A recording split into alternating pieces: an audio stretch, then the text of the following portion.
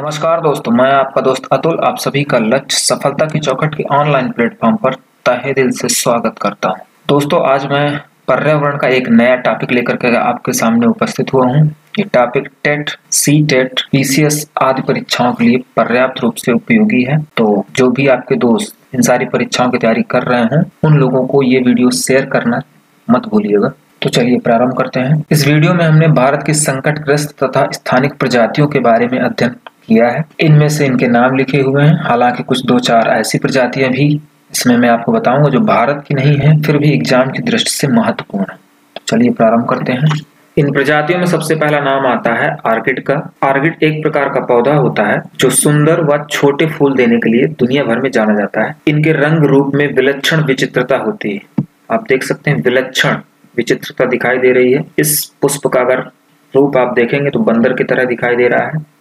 जबकि ये जो पुष्प है, वो एक व्यक्ति की तरह दिखाई देता है और इसी कारण इसे नेक्ड मैन आर्किड के नाम से जाना जाता है। यही विलक्षणता ही इस पुष्प को बहुत ज़्यादा पॉपुलर बनाती है। ये प्राय भूमि अथवा दूसरे वृक्षों पर आश्रय ग्रहण कर सब उगते हैं या कुकुर मुत्ते के समान मृत भोजी जीवन बिताते हैं। मृत भोजी का मतलब है, ये दूसरे मरे हुए जीवों के ऊपर उगाते हैं और उनसे भोजन प्राप्त करते हैं। भारत में इसकी सर्वाधिक प्रजातियाँ जो है, उत्तर पूर्वी राज्यों में पाई जाती है। नॉर्थ ईस्ट में सबसे ज़्यादा मात्रा में पाया जाता है। ये प्रश्न आपके एग्ज़ाम की दृष्टि से महत्वपूर्ण है। हालाँकि, नॉर्थ ईस्ट के बाद ये पश्चिमी घाट के आसपास के क्षेत्रों में भी पाया जाता है दूसरे नंबर पर, लेकिन भारत में मुख्य रूप से ये नॉर्थ ईस्ट में पाया जाता है। बोर्ड को देख करके आप इस बात का पता लगा सकते हैं। काजीरंगा नेशनल ऑर्किड पार्क है। काजीरंगा कहाँ पर है? असम, और असम आपका नॉर्थ ईस्ट में ही है। एक दूसरे पादप की बात करते हैं तो कीट बच्ची पादप। सबसे पहले हम कीट बच्ची पादप के बारे में समझ लेते हैं। इसके बाद भारत का जो कीट बच्ची पादप, भारत का स्थानिक प्राणी उसके बारे में बात करेंगे। कीट बच्ची पादप ऐसे पादप जो कीटों को खाते हैं। क्यों खाते हैं कीटों को? उसका कारण यह होता है कि ऐसे पौधे ऐसे स्थानों पर पनपते हैं जहाँ पर नाइट्रोजन का अभाव होता है। जब नाइट्रोजन का अभाव होगा तो नाइट्रोजन की आपूर्ति करने के लिए वे क्या करते हैं? इन कीटों को भक्षण करते हैं और भक्षण करके उनसे नाइट्रोजन की आपूर्ति अपने आप की कर लेते हैं। इन पौधों को निम्न नाम दिए गए हैं, जैसे पीचर प्लांट है ब्लेडर वर्ट है ड्रोसेरा है यूट्रिकुलेरिया है और विनस प्लाइट है। इनमें से जो पीचर प्लांट है पीचर प्लांट के भी दो भाग होते हैं निपेंथीज और सार्सेनिया इनमें से निपेंथीज ज़्यादा पॉपुलर है, उसके चित्र यहाँ पर दिए गए हैं निपेंथीज के, ये निपेंथीज है। हिंदी में से घट पार्टी कहा जाता है, यानी घड़े की तरह का होता है और इसके ऊपर ढक्कन की तरह होता है। कीड़ा अंदर आएगा, ढक्कन बंद हो जाएगा कीड़े से नाइट्रोजन का शोषण कर लिया जाएगा, बाद में कीड़ों को बाहर गिरा दिया जाएगा। तो इस तरह के पौधे भारत में याद रखेंगे आप लोग। मेघालय राज्य में ही पाया जाता है। भारत के मेघालय, ये येलो कलर से दिखाई दे रहा है मेघालय, यहाँ पर पाया जाता है घटपर्णी पौधा। ये आपके एग्ज़ाम की दृष्टि से महत्वपूर्ण है। बाकी जो अन्य पौधे हैं, उनके भी चित्र हम देख लेते हैं। ये है आपका ब्लैडर वर्ट इस ब्लैडर वर्ट पौधे के नीचे यहाँ पर आप जाएँगे तो यहाँ पर एक जाल नुमा संरचना इस प्रकार से दिखाई देगी। इसके बाद ये आपका ड्रोसेरा है जिसे मक्खा जाली कहा जाता है। तो ड्रोसेरा ये सुगंधित इसमें द्रव्य पाया जाता है, भरा हुआ दिखाई दे रहा है। इस द्रव्य से वो कीटों को आकर्षित करता है अपनी ओर और उसके बाद उनको अपने जाल में फंसा लेता है। एक अगला पौधा है बीनस प्लाइट इसको हिंदी में सुंदरी का पिंजड़ा कहा जाता है और ये खूबसूरत दिखने वाला पौधा दोनों तरफ़ से ये ढक्कन जैसे बंद कर लेता है ताली की तरह बजा देता है और इस तरह से कीड़ों को अपने जाल में फंसा लेता है। तो ये कुछ कीट बच्ची पादप हैं, जो भारत में हालाँकि नहीं पाए जाते हैं, अन्य देशों में पाए जाते हैं, फिर भी एग्ज़ाम की दृष्टि से महत्वपूर्ण तीसरे नंबर पर हम एक प्राणी के पास चलते हैं, हांगुल हिरन के पास। हांगुल हिरन को जानने से पहले हमें रेंडियर को जानना पड़ेगा। ये यूरोप में रेंडियर नामक प्रजाति का एक हिरन पाया जाता है, ये भी रेंडियर है। तो जैसी जलवायु दशाओं में रेंडियर यूरोप में पाया जाता है, वैसी ही जलवायु दशाओं में भारत के जम्मू कश्मीर में पाया जाने वाला एक हिरन होता है। इसे हांगुल हिरन के नाम से जाना जाता है। आप देख सकते हैं, इसी प्रजाति का ये भी हिरन है, जैसा बैकग्राउंड बर्फीला यहाँ पर है, वैसा बैकग्राउंड यहाँ पर भी है। तो ये दोनों एक ही प्रजातियाँ हैं, लेकिन अलग अलग क्षेत्रों में पाई जाती हैं। हांगुल हिरन सिर्फ़ भारत में पाया जाता है, और भारत में इसकी संख्या कम हो रही लगातार। इसलिए क्या किया जा रहा है, इसको दची गाँव वाइल्ड लाइफ सेंचुरी या दची गाँव नेशनल पार्क में इसको संरक्षित किया जा रहा है। इनको हालाँकि हम बाद में और डिटेल से अध्ययन करेंगे। चौथे नंबर पर हम जंगली गधा की बात करेंगे, यह भारत के कच्छ के रन का स्थानिक प्राणी है। सिर्फ़ कच्छ के रन में पाया जाता है। ये रन ऑफ़ कच्छ है गुजरात में, और ये लिटिल रन ऑफ़ कच्छ है। तो कच्छ का रन ये आपका लोकेशन है। इसी स्थान पर पाया जाने वाला ये जंगली गधा है, आपको ध्यान रखना है। ये अमिताभ बच्चन जी, आपने देखा होगा एडवर्टाइजमेंट में, गुजरात टूरिज़्म के जब ब्रांड एम्बेसडर थे, तब तो इन्होंने इस तरह से कुछ चित्र दिए हुए थे। तो ये गुजरात टूरिज़्म को प्रमोट कर रहे हैं। अगला प्राणी, हिमालयन ताहर। हिमालयन ताहर को जानने से पहले आप ये जान लीजिए कि ताहर एक प्रकार का बकरा होता है। इस तरह की ताहर की तीन प्रजातियाँ दुनिया में पाई जाती हैं। हिमालयन ताहर, अरब ताहर तथा नीलगिरी ताहर। इनमें से दो प्रजातियाँ हमने यहाँ पर बताई हुई हैं आपको। ये हिमालयन ताहर है और ये नीलगिरी ताहर। बेसिक सी बात समझ लीजिए कि हिमालय में ठंडी ज़्यादा होती है, इसलिए इस बकरे के बाल बड़े होते हैं। जबकि नीलगिरी में ठंडी कम होती है, इस वजह से इसके बाल छोटे हैं। तो हिमालयन ताहर हिमालय में पाया जाता है, ठीक है? लेकिन यहाँ से प्रश्न थोड़ा सा बन सकते हैं नीलगिरी ताहर से। दक्षिण भारत की नीलगिरी तथा अन्नामलाई पहाड़ियों में पाया जाता है। नीलगिरी आप जानते हैं, पश्चिमी घाट में पर्वत है, वहाँ पर ये पाया जाएगा, इसलिए इसका नाम नीलगिरी ताहर रखा जाएगा। याद रखें, नीलगिरी ताहर जो है, तमिलनाडु राज्य का राजकीय पशु है। एक सिंग वाला गैंडा, वन हॉर्न राइनोसरस। याद रखें, दुनिया में सामान्यतः दो सिंग वाला गैंडा पाया जाता है। ये दो सिंग है इसके, एक सिंग ये है, एक सिंग ये अफ्रीका में मुख्य रूप से पाया जाता है। लेकिन याद रहे कि एक सिंग वाले गैंडे की अगर बात आए, जैसे ये है, एक सिंह इसके है सिर्फ़ तो यह दुनिया में सिर्फ़ एक जगह पर पाया जाता है और वो स्थान है भारत का असम। एशियाई शेर के अलावा दुनिया में मुख्य रूप से दो प्रकार के शेर पाए जाते हैं। यानी एशियाई शेर भी पाया जाता है और एक अफ्रीकन शेर भी पाया जाता है। चित्र देख सकते हैं, अफ्रीकन शेर है और ये एशियाई शेर, एशियाटिक लाइन है। ये अफ्रीकन लाइन है। अफ्रीकन लाइन जो था, पूरे इस ग्रे वाले कलर में फैला हुआ था। एक समय था, पूरी दुनिया में यहाँ तक फैला हुआ था। लेकिन अब उसकी प्रजातियों में लगातार कमी हुई है और जितना करंट इसका रेंज है, वो इसको ऑरेंज कलर से दिखाया गया है। ये ऑरेंज कलर वाला एरिया में अब रह गया है। पहले पूरे इस ग्रे कलर वाले एरिया में शेर पाया जाता था और चौंतीस हज़ार के आसपास इसकी प्रजाति जो है अफ्रीका में बची हुई। तो ये तो अफ्रीकन लाइन की बात हुई। लेकिन अगर हम एशियाटिक लाइन की बात करें तो एशिया में कहीं पर भी लाइन नहीं पाया जाता है। सिर्फ़ और सिर्फ़ एक ही जगह पर पाया जाता है। वो है भारत का गुजरात। और गुजरात की एक पहाड़ी जिसका नाम है गिर पहाड़ी। तो गिर पहाड़ी ग्रीन कलर से दिखाई गई है। यहाँ पर ही सिर्फ़ पाया जाता है Asiatic lion Gujarat lions IPL की टीम है। इससे आप कनेक्ट कर सकते हैं। तो आपको बताया गया कि गिर फॉरेस्ट जो नेशनल पार्क है, यहाँ पर नेशनल पार्क बना दिया गया है। तो गिर फॉरेस्ट नेशनल पार्क एकमात्र स्थान है जहाँ पर एशियाई शेर पाया जाता है। याद रखें, वीडियो में ऐसे टॉपिक जो अलग से आपको एक्स्ट्रा रखे गए हैं, उन टॉपिक को मैंने पीले कलर से ऐसे कलर किया हुआ है तो उनको ध्यान रखें। तो चलिए एशियाई चीते के बारे में जानते हैं। पैंथर पैंथर के बारे में पहला सबसे महत्वपूर्ण बिंदु है, ये दुनिया का सबसे तेज दौड़ने वाला स्तनधारी प्राणी है। और बीसवीं शताब्दी के आसपास चीता जो था, अफ्रीका व एशिया में दूर दूर तक फैला हुआ था, सब जगह पर पाया जाता था, यानी एशिया में भी, हमारे यहाँ भी पाया जाता था और अफ्रीका में भी पाया जाता था। लेकिन इसके आवासीय क्षेत्र और शिकार की उपलब्धता के कम होने के कारण इसकी जो एशिया वाली प्रजाति थी, यानी एशिया का जो लोकेशन में था, वो समाप्त हो चुका है। याद रखें, आवासीय क्षेत्र, यानी इसके रहने का जो क्षेत्र है, वो कम हो गया और इसके शिकार ज़्यादा ज़्यादा इसको नहीं मिल पाया, इसके पेट भरने के लिए इसी कारण से इसकी समाप्ति हो गई।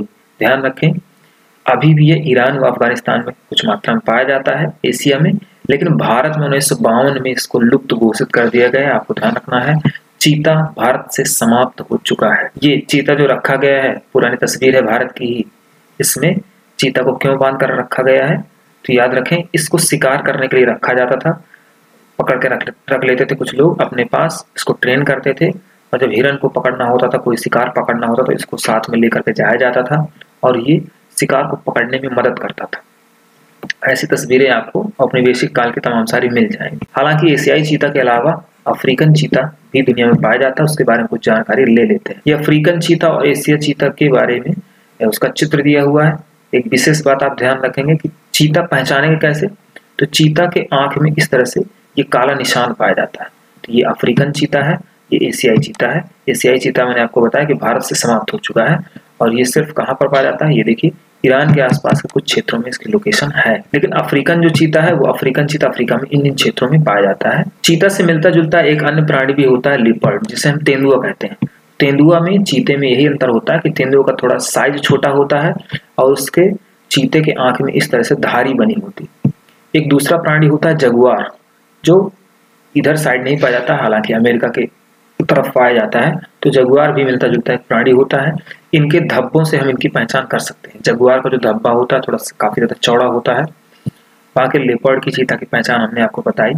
तो याद रखें, अफ्रीका में जो चीता पर्याप्त मात्रा में पाया था भारत में इसकी समाप्त हो गई है। हालाँकि भारत सरकार अफ्रीका से चीता मंगा करके भारत में उसका ग्रोथ करने के लिए सोच रही है। अभी ये सक्सेस नहीं हुआ है प्लान, क्योंकि जो जलवायु दशाएँ हैं, वो अफ्रीका की और भारत की उनमें काफ़ी अंतर है। इसलिए अफ्रीकन चीता भारत में सर्वाइव कर पाएगा कि नहीं कर पाएगा, इस बात को लेकर के भी मतभेद चल रहा है। एक अगला प्राणी है great Indian bustard great Indian bustard की सर्वाधिक संख्या है भारत में, राजस्थान में पाई जाती है। और राजस्थान सरकार इसको गोड़ावण नाम देती है और गोड़ावण नाम से इसको अपना राज्य पक्षी घोषित किया गया है। इसकी समस्या ये है कि इसका साइज़ ऐसा है, काफ़ी बड़ा होता है आकार, ज़्यादा बड़ा आकार होने की वजह से लोग इसका शिकार करते हैं, शिकार करके इसको समाप्त कर रहे हैं।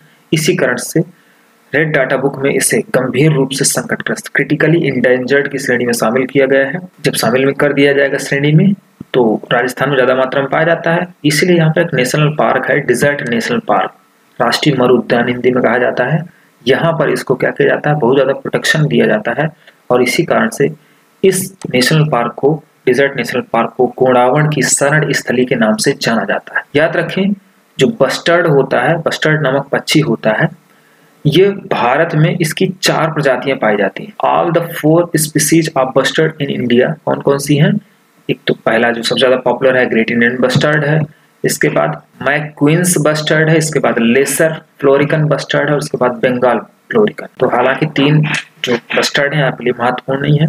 इनमें से ग्रेट इंडियन बस्टर्ड काफ़ी चर्चा में रहता है। उसकी लोकेशन देख लेते हैं। ये ग्रेट इंडियन बस्टर्ड की जो ग्रीन कलर से या येलो कलर से दिखाई गई है। ये उसकी पुरानी लोकेशन है। इस इतने क्षेत्र पर पहले फैला हुआ था। हालाँकि अब ये इतना क्षेत्र में इसका शिकार के कारण समाप्त हो गया है और जो रेड डॉट बने हुए हैं, ये इसकी प्रेजेंट लोकेशन शो कर रहा है और इन जगहों पर आज पाया जाता है। तो इन जगहों में आपने सर्वाधिक देखा, राजस्थान में सबसे ज़्यादा पाया जाता है। इसके बाद ये महाराष्ट्र के आसपास के क्षेत्र में पाया जाता है। आप देख रहे हैं कि पिछले 50 सालों में 90 परसेंट इनकी जो पॉपुलेशन है, वो डिक्रीज हो गई, खत्म हो चुकी है। और डेढ़ सौ से कम आज इनकी जो संख्या है, बची हुई। तो ये आपने जाना।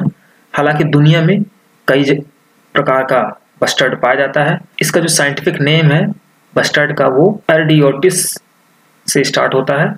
तो एर्डियोटिस की देखिए, आप देख रहे हैं यहाँ पर, अरेबियन बस्टर्ड है ये, अरब में पाया जाता है। इसके बाद ये कोरी बस्टर्ड है, यहाँ पर पाया जाता है। ये उसका चित्र है।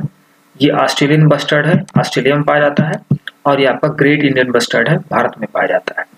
तो बस्टर्ड दुनिया में चार प्रकार का मुख्य रूप से होता है। इनमें से इसमें भी, भारत में भी इसकी चार प्रजातियाँ मैंने आपको बताई। 2020 की state of India birds report में इनके बारे में खुलासा किया गया है। खुलासा यह है कि the decline is observe due to historical hunting and wide spread habitat loss मैंने आपको पहले ही बताया था कि ऐतिहासिक काल से इनकी इनका जो है शिकार किया जा रहा है बड़े पैमाने पर, क्योंकि ज़्यादा मांस होगा, ज़्यादा बड़ा पक्षी, ज़्यादा मांस होगा। इसलिए शिकार किया जाएगा। And wide spread habitat loss इनका जो हैबिटेट है, आवास है, उसमें लगातार कमी हो रही, क्षति हो रही है। एक और कारण है विद देयर स्लो ग्रोथ इनकी जो शरीर की वृद्धि होती है, बहुत धीमी धीमी होती है एंड रिप्रोडक्शन और ये जो रिप्रोडक्शन है, वो भी काफ़ी देर से करते हैं।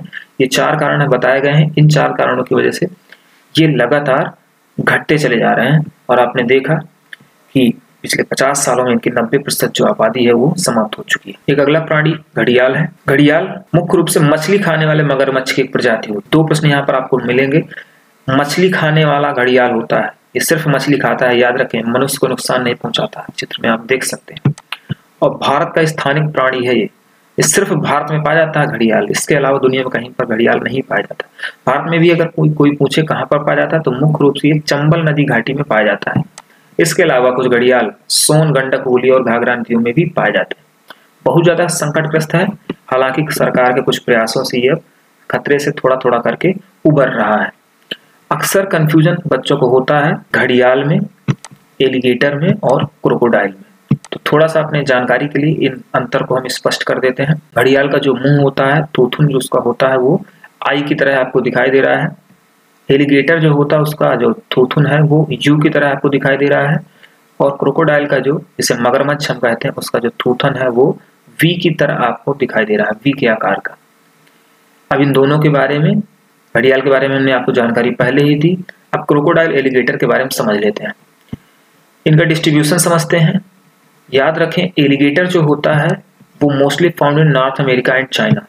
ये एलिगेटर का चित्र है। एलिगेटर मुख्य रूप से अमेरिका और चाइना में ही पाया जाता है, जबकि जो क्रोकोडाइल होता है ये ये पूरे दुनिया में पाया जाता है। दूसरी महत्वपूर्ण बात इसकी आदत को लेकर के है कि जो क्रोकोडाइल होता है, वो बहुत ज़्यादा एग्रेसिव होता है अ डेंजरस टू मैन यानी हम लोगों को भी खा सकता है। अगर पा जाएगा क्रोकोडाइल तो हमारा शिकार भी कर सकता है। जबकि ये जो लोग होते हैं alligator less aggressive attack than provoked जब हम इनको परेशान करते हैं, तभी हमारे ऊपर आक्रमण कर सकते हैं।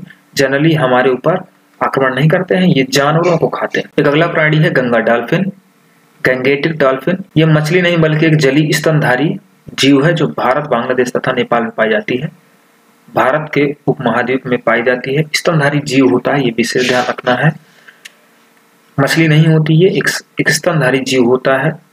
मुख्य रूप से गंगा नदी में साथ ही चंबल, घाघरा, गंडक, सोन, कोसी, ब्रह्मपुत्र में भी पाई जाती है। सबसे महत्वपूर्ण इस टॉपिक का क्वेश्चन है 5 अक्टूबर उन्नीस 2009 में इसे राष्ट्रीय जलीय जीव घोषित किया गया है। देश का राष्ट्रीय जलीय जीव घोषित किया गया है, ध्यान रखें। इस विलुप्त प्राय जलीय जीव की वर्तमान भारत में 2000 से भी कम संख्या रह गई। विलुप्त प्राय है, ये भी ध्यान रखेंगे, यानी समाप्त होने वाली है। इसका कारण क्या है? इसके समाप्त होने का क्यों खतरे में है? बढ़ता प्रदूषण है गंगा में पॉल्यूशन ज़्यादा होने की वजह से। बांधों का निर्माण एवं शिकार। बाँध बनाए जाने की वजह से इनके प्रजनन में बाधा आती है और इनका शिकार भी बेतरतीब तरीके से किया जाता है। शिकार क्यों किया जाता है? इस बारे में बात करें तो इससे एक तेल निकाला जाता है और इस तेल का इस्तेमाल अन्य मछलियों को पकड़ने के चारे के रूप में किया जाता है। यानी इसके तेल की खुशबू से अन्य मछलियाँ आती हैं तो उनको पकड़ा जाता है। यही कारण इसका शिकार किया जाता है।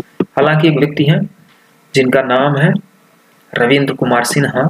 इन्होंने इनके संरक्षण के लिए ढेर सारे कार्य किए हैं और इसी वजह से इनको राष्ट्रपति ने पुरस्कार से सम्मानित किया है। तो आपको ध्यान रखना है, रविंद्र कुमार सिन्हा को डॉल्फिन मैन ऑफ़ इंडिया के नाम से जाना जाता है। टेट के लिए बहुत ही इंपॉर्टेंट क्वेश्चन मछली के बारे में और बातें हैं। इस समय उत्तर प्रदेश के नरौरा, बिहार के पटना साहिब में बहुत थोड़े क्षेत्र में पाई जाती है।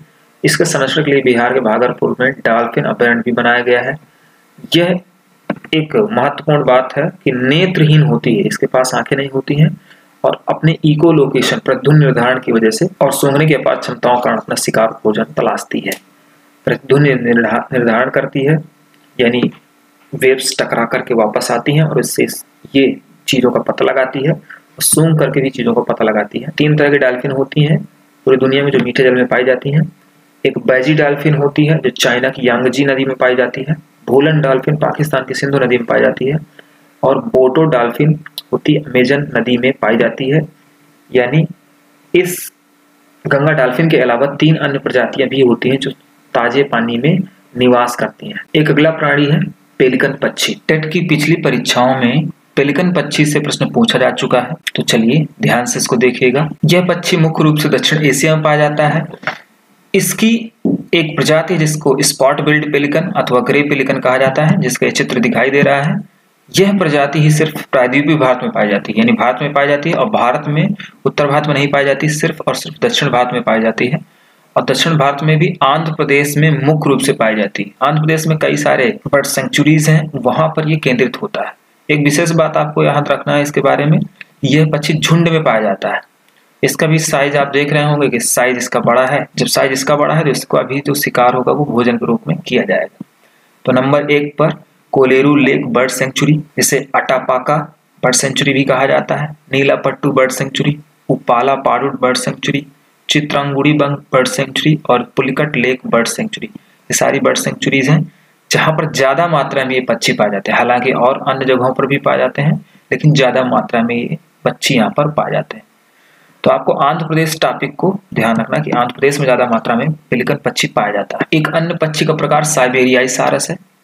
साइबेरियाई सारस की कहानी यह है कि यह असाधारण राशि प्रवासी पक्षी है। आर्कटिक रूस और पश्चिमी साइबेरिया इसका निवास स्थान आर्कटिक रूस ये इसका है हिस्सा, या पश्चिमी साइबेरिया कहते तो ये हिस्से पर ये निवास करता है। इस जगह से ये माइग्रेशन करता है। माइग्रेशन करके देखिए, ये इसका पुराना रूट है। इस रूट से भारत आता था, यहाँ तक। और भारत में एक स्थान है, राजस्थान का केवला देव घाना पश्चिम बिहार वहाँ पर ये आता था, सर्दी के मौसम में, जब यहाँ पर सर्दी बहुत ज़्यादा होती थी, उसको बर्दाश्त नहीं कर पाता था तो भारत आता था। भारत में अपेक्षाकृत, साइबेरिया की अपेक्षाकृत कम सर्दी होती थी, इसलिए यहाँ पर रहता था। यहाँ पर समय व्यतीत करने के पश्चात यहाँ से वापस जाता था। लेकिन 2002 में अंतिम बार इसे भारत में देखा गया है और 2002 के पश्चात इसने अपना रूट चेंज कर लिया है।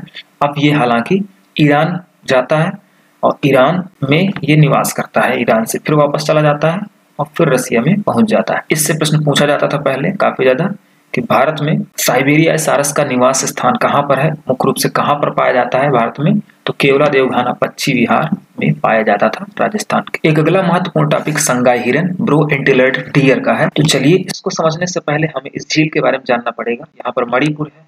मणिपुर में इस प्रकार की झील पाई जाती है, जिसे लोकटक झील कहा जाता है।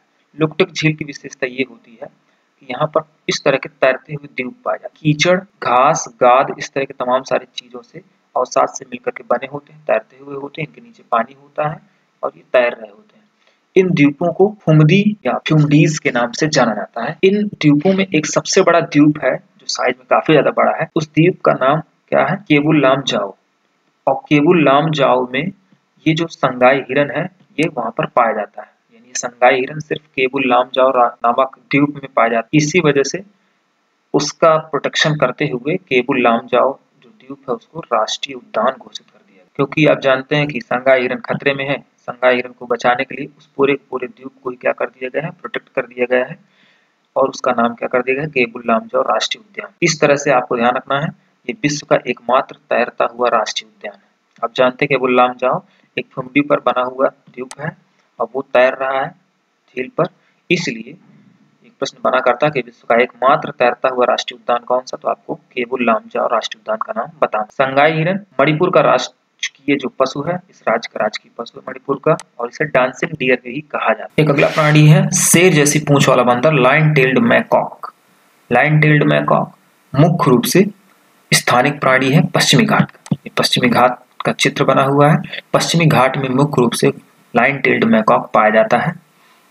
केरल, कर्नाटक, तमिलनाडु में पाया जाता है। ये सदाबहार चौड़ी पत्ती वाले वनों में रहते हैं और मनुष्य के संपर्क से बचते हैं। याद रखें, मनुष्य से थोड़ा सा ये शर्माता है, ठीक है, और उनसे दूर रहने का प्रयास करता है।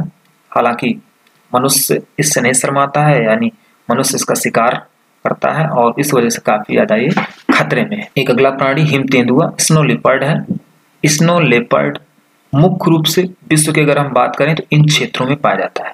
इन क्षेत्रों में आप देख रहे होंगे, ये भारत है, मुख्य रूप से चाइना है, मंगोलिया है, इन क्षेत्रों में कजाकिस्तान है, इन जगहों पर पाया जाता है। लेकिन हम भारत की बात करते हैं तो भारत में हिमालय जो भी राज्य हैं, वहाँ पर हिम तेंदुआ पाया जाएगा। क्योंकि जहाँ पर हिमा, हिम पाया जाएगा, वहीं पर हिम तेंदुआ पाया जाएगा। तो भारत में हिमालयी राज्यों में ही ज़्यादातर हिम पाया जाता है। देख लेते हैं जम्मू कश्मीर हिमाचल प्रदेश, सिक्किम, उत्तराखंड आदि राज्यों में ये पाया जाता है। Minus forty degree centigrade temperature में भी रह सकता है। हिमाचल प्रदेश का राजकीय पशु है हिमाचल प्रदेश यहाँ पर उसका राजकीय पशु घोषित कर दिया गया है और इसे पहाड़ों का भूत कहा जाता है। लाल पांडा, यह भी सिक्किम, असम व उत्तरी अरुणाचल प्रदेश में पाया जाता है। ये चित्र देख सकते हैं। लाल पांडा कहाँ कहाँ पर पाया जाता है? तो चाइना में पाया जाता है। इसके अलावा भारत के नेपाल ओपाल के आसपास और भारत के कुछ राज्यों में पाया जाता है। ये अपना अधिकांश भोजन बाँस के वृक्ष से प्राप्त करता है। तो आगे चलिए हम देखते हैं बाँस के वृक्ष के बारे में। देखिए, बाँस के वृक्षों को खा करके अपना पेट भर रहा है। तो ये ध्यान रखना है। और लाल पांडा मुख्य रूप से कहाँ कहाँ पर पाया जाता है? तो भारत के किन राज्यों में पाया जाता है? तो ये आपको ध्यान रखना है। लाल पांडा की अगर बात कर रहे हैं तो हमें एक अन्य पांडे के बारे में भी जानना बहुत ज़रूरी है। एग्ज़ाम की दृष्टि से बहुत सारा महत्वपूर्ण है। इसका नाम पहले जान लेते हैं। जिसे जाइंट पांडा के नाम से जाना जाता है। जाइंट का मतलब होता है दैत्य। या हिंदी में इसे दैत्याकार पांडा के नाम से जाना जाता है। दैत्याकार पांडा की सबसे मुख्य विशेषता ये है कि ये इसका जो आवास है, अब वो कम हो चुका है बहुत ज़्यादा। यानी अगर हम बात करें कि चीन में ये इस जगह पर ये पूरा जो ग्रे कलर से बनाया गया इस लोकेशन पर पहले पाया जाता था। ये historic range for giant pandas थी। इसका अत्यधिक शिकार हुआ है और शिकार होने की वजह से इसकी लोकेशन अब खत्म हो गई है और इतने में ही सीमित रहेगा। ये करंट जाइंट पांडा हैबिटेट है। ये रेड कलर से जो डॉट बने हुए हैं, इस क्षेत्र में ही सिर्फ़ अब पाया जाता है।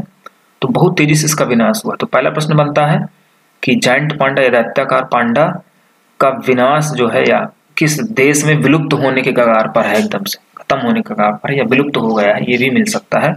तो चाइना में विलुप्त हो गया या विलुप्त होने के कगार पर है। हालाँकि इसकी चाइना के अलावा एक अन्य जो लोकेशन है, वो उत्तरी अमेरिका महाद्वीप में भी ये पाया जाता है। एक अगला प्रश्न इससे बनता है कि डब्ल्यू एक संस्था है, जिसके बारे में हम अध्ययन आगे डिटेल से करेंगे। उस संस्था का जो लोगो है, वो किसको बनाया गया है? उसके लोगों में किसको स्थान दिया गया है? तो उसके लोगों में भी इसी जाइंट पांडा को भी ही स्थान दिया गया है। इसके बारे में अन्य बातें कर लेते हैं। इस पांडा के खत्म होने के कारण क्या है? तो हैबिटेट डिस्ट्रक्शन है, यानी जंगलों का विनाश किया गया है लो प्रोडक्टिव रेट इनका। इनका प्रोडक्टिव रेट काफ़ी धीमा होता है, काफ़ी देर से प्रजनन होता है इनका।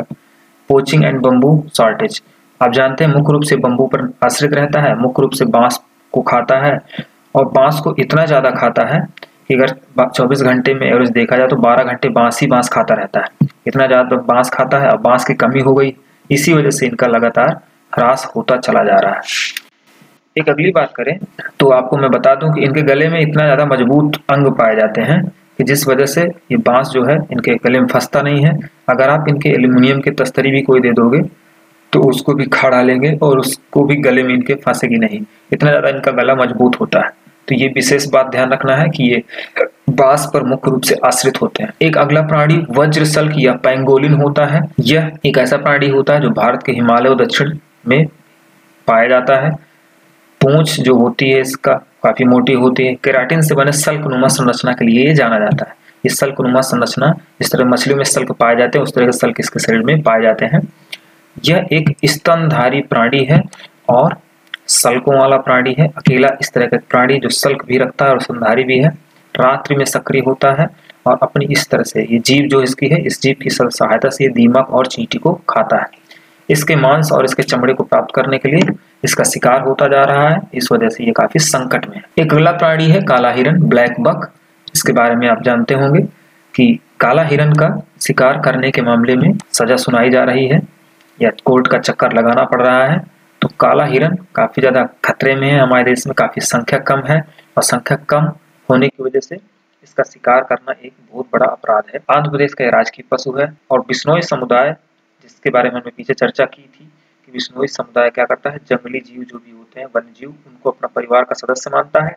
और यही कारण था कि इसी समुदाय ने इनकी शिकायत की थी और ये आज तक चक्कर लगा रहे हैं। इस तरह से भारत में पाए जाने वाले जितने भी स्थानिक प्राणी थे महत्वपूर्ण उनको हमने खत्म कर लिया है। हालाँकि कुछ बचे हुए जो प्राणी होंगे, उनके बारे में हम अगले वीडियोज़ में अध्ययन करेंगे। इस वीडियो में मैं दो अन्य और प्राणियों के बारे में बताना चाहूँगा। भारत से संबंधित तो नहीं है, लेकिन एग्ज़ाम में बहुत ज़्यादा चर्चित रहते हैं बहुत ज़्यादा पूछे जाते हैं। इनमें से पहला प्राणी है स्लाथ। सीटेट में कई बार पूछा जा चुका है इससे। स्लाथ एक ऐसा प्राणी होता है, बालू जैसा दिखता है, और इसकी खास बात यह होती है कि बहुत ज़्यादा आलसी होता है। 18 घंटे तक लगभग ये पेड़ पे लटका रहता है। रात्रिचर जानवर है, दिन भर लटका रहेगा, रात में अपना खाने पीने का इंतज़ाम करेगा। और इस तरह से लटक करके देखिए, ये माँ अपने बच्चों को लिटाए हुए है, और इस तरह से सोता ही रहता है। ये इसी बात के लिए जाना जाता है दुनिया में और इसी से प्रश्न भी पूछा जाता है। स्लात मुख्य रूप से दक्षिण अमेरिका के इन क्षेत्रों में पाया जाता है। ये ब्राज़ील का हिस्सा है। ब्राज़ील के आसपास के क्षेत्रों में यहाँ पर सदाबहार वन पाए जाएँगे और इन्हीं सदाबहार वनों में ये निवास करता है। एक अगला प्राणी है कोआला, जिसके बारे में हम अध्ययन पिछले वीडियोस में कर चुके हैं हालाँकि, लेकिन फिर से महत्वपूर्ण लगा, इसलिए हमने इसको इस टॉपिक में भी डाल दिया है। कोआला एक ऐसा प्राणी है जिसे हम कोआला बियर के नाम से भी जाना जानते हैं। और यह ऑस्ट्रेलिया में मुख्य रूप से पाया जाता है। हमने आपको बताया था कि ऑस्ट्रेलिया में मुख्य रूप से कौन सा पेड़ पाया जाता है? यहाँ पर यूकेलिप्टस पाया जाता है और ये जो प्राणी होता है, ये यूकेलिप्टस को ही खा करके अपना जीवन व्यतीत करता है। ये देखिए चित्र में, यूकेलिप्टस का पेड़ है, वहाँ पर सो रहा है, सारे चित्र दिखाई दे रहे हैं, यूकेलिप्टस के बारे में बता रहे हैं। तो ये महत्वपूर्ण प्रश्न बन सकता है कि मुख्य रूप से ऐसा प्राणी बताइए जो यूकेलिप्टस के पेड़ पर आश्रित होता है, उसी को खा करके अपना पेट पालता है। तो ऐसा प्राणी आपका कोवाला है। चूँकि यह पेड़ मुख्य रूप से ऑस्ट्रेलिया में पाया जाता है, इसी वजह से यह प्राणी भी मुख्य रूप से ऑस्ट्रेलिया में पाया जाता है। ये अभी जो लगी हुई थी आग ऑस्ट्रेलिया में, जंगलों में, उसी की दर्दनाक तस्वीर है। तो इस तरह से यह वीडियो आपका कंप्लीट होता है। अगर आपको ये वीडियो बेहतरीन लगा, हमारी मेहनत को साकार करने के लिए आप इस वीडियो को ज़्यादा से ज़्यादा अपने दोस्तों को, जितने भी दोस्त आपके हैं पढ़ाई संबंधित उनको ज़्यादा से ज़्यादा शेयर करिए। ऐसे ही मज़ेदार वीडियो के साथ हम हाजिर होते रहेंगे। तो मिलते हैं नेक्स्ट वीडियो में। तब तक के लिए नमस्कार।